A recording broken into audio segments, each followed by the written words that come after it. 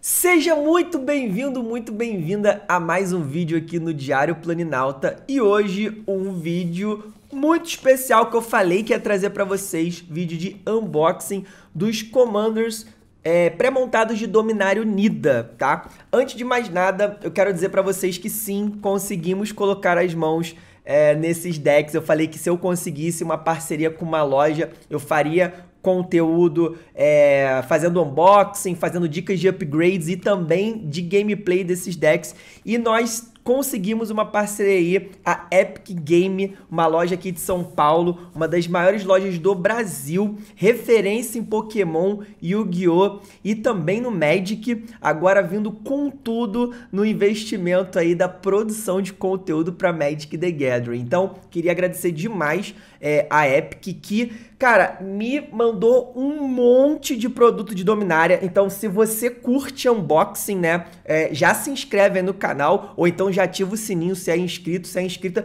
porque olha, tem bundle, tá? Tem bundle de Dominária. Ali atrás tem umas boxes, ó, tá vendo aqui essa pilha aqui, ó? É box é, de draft, é, bo é box de set booster e também tem collector booster box. Eu vou abrir tudo isso. Algumas eu vou abrir em live lá na twitch.tv barra Diário Planinalto. Então, se quiser ver isso aí ao vivo, segue lá. E outras eu vou abrir aqui é, diretamente exclusivo pro YouTube. Mas, de qualquer forma, todo o material vai vir para cá depois. Então, se você não é inscrito, não é inscrita, já se inscreve aí para poder não perder nenhum desse conteúdo e obviamente, né, agradecer demais aqui a Epic pela parceria. Então, nos próximos meses vocês vão ver muito conteúdo de Magic aqui, como prometi para vocês que faria se eu conseguisse uma parceria. Tem muita coisa boa vindo pela frente. O, o link para o site dele já tá aí na descrição. Vocês conseguem ganhar 5% de desconto nas compras de singles de Magic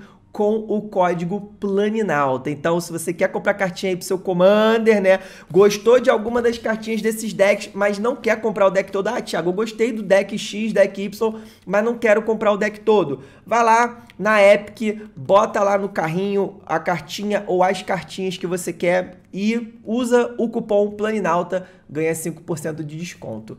Beleza? É isso. Muito obrigado, Epic, pelos produtos. Então já sabem, já aguardem que vem muito conteúdo por aí, beleza? Mas vamos para finalmente o unboxing desses produtos maravilhosos aqui que eu tenho em mãos, tá? Eu vou fazer dessa vez diferente, tá, pessoal? Não vou fazer dois vídeos separados, vou fazer um vídeo só com esses dois, com dois unboxings e aí mostrar para vocês o que tem aqui dentro. Eu já fiz um vídeo de análise dos decks antes de jogar com eles, tá aí no canal, vou deixar aí em cima para vocês darem uma olhada depois. Esse vídeo aqui, eu obviamente vou fazer uma análise do produto em si, mas não da qualidade de gameplay dos decks. Esse vai ser um próximo vídeo que eu vou fazer depois que eu jogar com esses decks. O dia que vocês estiverem vendo esse vídeo de unboxing, eu já joguei, já gravei com esses decks, então aguardem aí que muito em breve nós vamos ter, tá? Então vamos lá, vamos começar pelo deck da Dirrada, que foi o deck que eu mais gostei né? É, todos os commanders agora eles estão vindo aí. Todos os produtos basicamente da Wizards estão vindo com esse lacre agora que tá bem mais fácil de se, de se abrir, né? E eles vêm aí, ó, num, num, num pacote, ó, pum. Uh, bem interessante. Caixinha foi embora.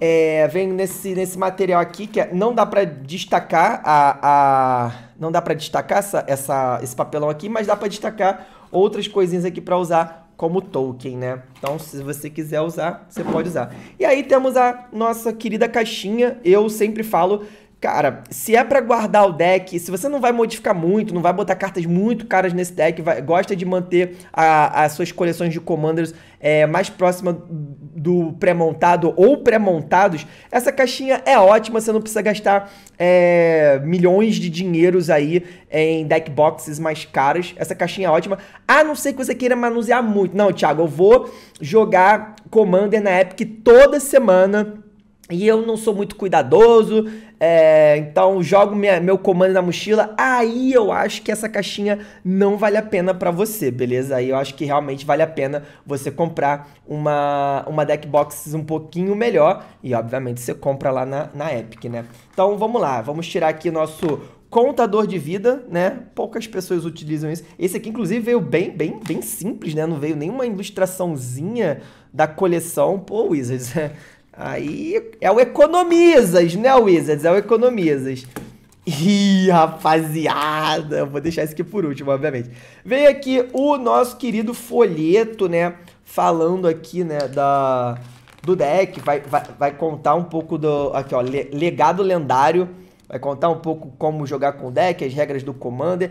É sim um produto voltado para quem quer começar a jogar Commander, para quem quer começar a, a... Se você quer começar a jogar Magic, talvez não seja o mais indicado, a não ser que você tenha um grupo aí muito paciente, né? Mas se você tá começando a jogar o Commander agora, já sabe o básico do Magic, quer começar a jogar o Commander, dá para você começar por esses produtos pré-montados, é muito bom. Talvez o, o, o, do, o do Jared, talvez não por ser um deck 5 colors, né? Um deck de 5 cores talvez seja um pouquinho mais complicado. Mas um deck aí de 3 cores, um deck de 2 cores talvez seja bem interessante. Deckzinho vem aqui, ó, tá vendo? Bem, bem embaladinho. A gente vai abrir o nosso deck assim que a gente encontrar aonde abre, aqui, ó. Uh, beleza. É, esse deck, os dois decks, né, eles possuem é, dois possíveis comandantes. O, o primeiro comandante seria é, essa que vem, né, que é a capa do deck. Então a gente tem aqui, é a Dirrada, é uma planinalta. Ela é muito, muito legal, gostei bastante dela. É, mas tem um outro possível comandante, é esse cara aqui, é esse cara aqui, ó. Tá vendo? Que inclusive ele vem foil. Então, tanto a Dirrada quanto esse carinha aqui, que é o outro possível comandante, vem foil, que é a Shanid dos Adormecidos. Inclusive, essa carta que eu achei, achei interessantíssima para se utilizar como um possível comandante também no lugar da Dirrada, tá? Ou até em outro estilo de deck, não que seja necessariamente esse deck. Dá para aproveitar bastante coisa e talvez montar um, um outro deck um pouquinho diferente para esse carinha aqui, que é um carinha de custo 2, 4 ameaçar outras criaturas lendárias que você controla tem ameaçar. Toda vez que você joga um terreno lendário ou conjura uma mágica lendária, você compra uma carta e, perde, e, e ganha um ponto de... E não, e perde um ponto de vida. É muito card vantage. No, no, não esqueçam, no Commander, né? O, o principal, gente, o que faz muita diferença num jogo de Commander é o card vantage. Normalmente, quem compra mais tem mais vantagem no mesão, beleza? E aí a gente vai ter uma série de cartas aqui. Não vou passar obviamente por todas, tá, pessoal? É, aqui, uh, só para mostrar mesmo as cartas como elas vêm. Cara, presente generoso, muito boa, muitas boas cartinhas, né? O próprio Monumento de Bontu, se eu não me engano, é uma carta que tava bastante cara. É, o, o, a base de mana não é lá a, a, uma das melhores base, bases de mana. Isso aqui é o meu grande destaque e é o, uma das cartas que para mim é o que vale a pena pegar nesse deck, tá? Pigente da Ampulheta de Gerard, custa 1, tem lampejo. Se o jogador fosse começar um turno extra, em vez disso, aquele jogador pular aquele turno. Maravilhoso, odeio turno extra. Isso aqui, para mim, é uma das minhas cartas favoritas do Magic. E você pode pagar 4, virar e exilar ela e devolver ao campo de batalha todos os cards de artefato, criatura, encantamento de terreno do seu cemitério que tenham sido colocados lá, vindo de, de, do campo de batalha nesse turno. Então uma carta que ela, ela é um hate para turno extra, mas ela não necessariamente vai ser uma carta que só serve para isso. Ela vai servir para você devolver para o campo de batalha se você depois tomar um global, né? Tô apaixonado por essa carta. Esse é um dos grandes motivos de eu querer pegar esse deck aqui, tá? Eu, eu vou jogar com ele primeiro, obviamente, mas tem muitas cartinhas nesse deck que me interessam bastante e provavelmente eu devo é, pegar esse deck pra coleção. Isso aqui também tá bem caro, tá? O Shizu tá, tá bem caro. É, não sei se baixou um pouquinho agora, mas quando saiu estava mais de 60 reais essa carta. Bem legal. A, a base de mana ela não é tão absurda, né, de complexa, porque afinal de contas são apenas três é, cores, né? É o vermelho, o branco e o preto. Então não vai ser uma base de mana tão. Ah, e aqui isso aqui é bacana também, né? É, o, é, o, é a versão em plástico. É, da carta. Então, eu particularmente gosto muito de usar essas versões. Se você for usar de errada como sua comandante, você pode usar essa versão aqui, ó, que ela é de plástico, não precisa de botar shield, ela vem nesse foil diferenciado, né, que é, a gente chama de foil etched. Então é uma coisa assim bem, bem, bem bacana de você utilizar. Fora que você já tem basicamente como se tivesse duas cartas. Então Você, talvez você possa botar a Dirrada em outro, command, um outro commander, né? Marduk, se você for jogar, ou sei lá, 4 color, 5 color, e aí você deixa de errada como sua comandante essa daqui do plásticozinho. E aí você não precisa se preocupar, você tem duas cartas, não precisa ficar mudando é, de um lugar para o outro. É, esse aqui é o deck, né? Quer ver a nossa análise antes de jogar com o deck, tá aí na, na, no link aí, eu vou deixar aí em cima no, no, no card. É, e se você quiser ver o gameplay desse deck, assim que eu colocar no ar, se você tá vendo esse vídeo ah, quando ele estiver indo ao ar, né, ou poucos dias depois, provavelmente ainda não vai ter. Mas quando eu tiver o gameplay, eu vou voltar nesse vídeo e colocar. Então, se você tá vendo esse vídeo depois que eu já lancei o gameplay, tem o link aí pro gameplay também, beleza? Isso aqui é outra coisa que, ao mesmo tempo, deixa o produto um pouco mais interessante ele também tende a encarecer um pouquinho mais. Isso é um Collector Booster Sample Pack. O que, que, que é isso? Isso, aí, isso aqui é tipo um, uma amostra grátis, que não é grátis, obviamente, de o que seria um Collector Booster, que é o booster né, mais procurado aí, ou é, é, é, o, é o mais... é, é interessante que a gente tem hoje, principalmente para pessoas que colecionam ou que gostam né, de cartas foil, cartas full art, arte alternativa, é o Collector Booster, é o booster mais caro também, mas é o que tem mais chance de te trazer maior é, prazer em questão de colecionismo, tá? Eu vou deixar para abrir esse no final junto com o do Jared, vamos ver qual vai ser o, o melhor, né? É, e se você quiser ver um unboxing de Collector Booster, eu também vou colocar aqui no canal um unboxing de duas, duas caixas de Collector Booster de Dominária Unida, tá? Se tiver ao ar aí já também, também vou deixar aí no card. Fica esperto ou esperta. Vamos pro deck do Geredileto agora. Gosto de chamar assim, Geredileto. Se você pegou a, a referência aí, deixa nos comentários, né? E esse deck é um deck 5 color. Esse deck me, assim, me deixou um pouquinho desapontado, não vou mentir para vocês. Eu esperava bem mais desse deck, por ser um deck 5 color, né? Vem algumas coisas interessantes em questão de base de mana, eu vou mostrar pra vocês, ó. A caixa, mesma coisa, mesma coisa os dois decks, tá? Isso aqui não dá pra destacar, infelizmente. Podia muito, né? Wizard, pelo amor de Deus, começa a fazer isso aqui destacável pra gente poder, de repente, né, ter uma facilidade, mal de tirar isso aqui daqui e, e, sei lá, usar como, enfim, enfeite em algum lugar.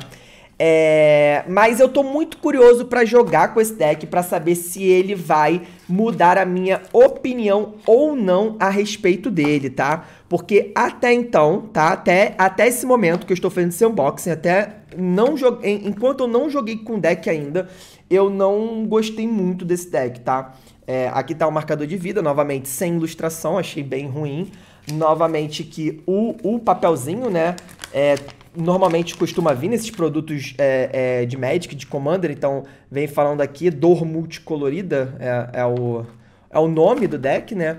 E aí contando um pouco da história do Jared Carthalion, é um personagem muito importante aí pra lore de Dominar, inclusive, que voltou recentemente aí, Dominária Unida trouxe aí de volta o Jared Carthalion. Uh, temos aqui o booster dele, então vou deixar esse aqui, né? Então esse aqui é do Jared, esse aqui é o da, é o da Dirrada, vamos ver. Eu vi esses dias a minha amiga Julia, também conhecida como Luminovinha, abrindo um picotador de livros caixas full art num booster de colecionador, nesse booster aqui de colecionador, o Sample, né? Então, assim, dá pra tirar coisas boas? Dá. Ah, Thiago, dá pra tirar uma liana, dá pra tirar uma shoulder, dá pra tirar alguma coisa assim muito, muito, muito fantástica? Dá. É provável que você vai, vai acontecer isso? Pouco, pouco provável, tá, pessoal? Então vamos lá, temos aí ele, o Jared, né, Five Color. É, eu não vou falar também muito sobre a, a, Quer dizer, é, só... Não vou falar sobre as habilidades das cartas, né, até porque tem, tem vídeo sobre isso. Uh, se você quiser dar uma paradinha também para ler, tentar ler. Aqui, aqui, esse cara aqui, particularmente, o Jenson Carthelion, da, o parente aí, ó, o parento do, do Jared, pra mim é mais interessante do que o Jared. Vou ser muito honesto com vocês. Por causa da habilidade dele, né? Eu não vou falar a habilidade do Jared, mas é, lembrando que por ele ter essa habilidade de pagar 5, adicionar 5 cores, uma de cada mana, ele é sim um comandante 5 colors, five color, mesmo sendo só verde e branco, tá?